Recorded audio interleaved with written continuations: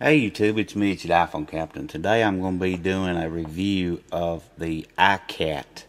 This is a waterproof um, case that has a lanyard on it that you can put around your neck. It's a pretty awesome case. Um, it comes in some pretty simple packaging as you can see here, just a box. Just All I had to do to get it out was just simply just flip it open and it come right up. So let's put that to the side and get to the star of the show here.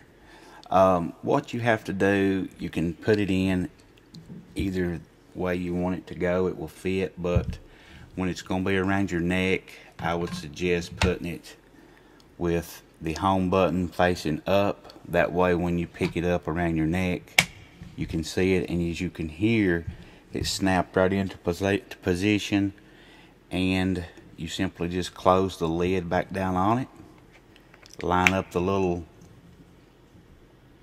side grooves and then you have to twist this top part. It twists into position as well.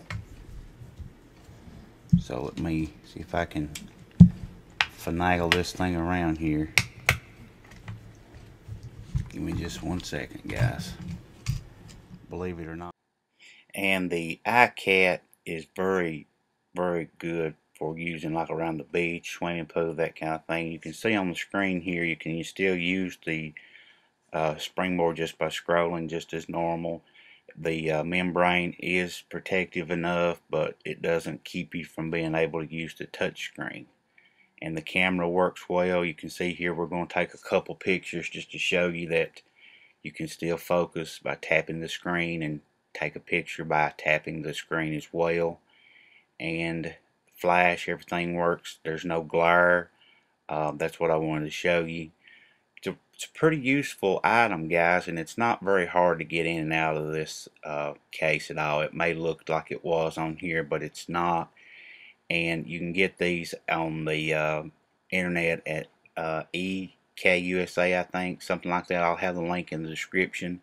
They're about 60 bucks and they got all sorts of different accessories. You can get like reels and lanyards and carabiners, all different things. So check them out. Don't forget to hit that subscribe button and keep coming back.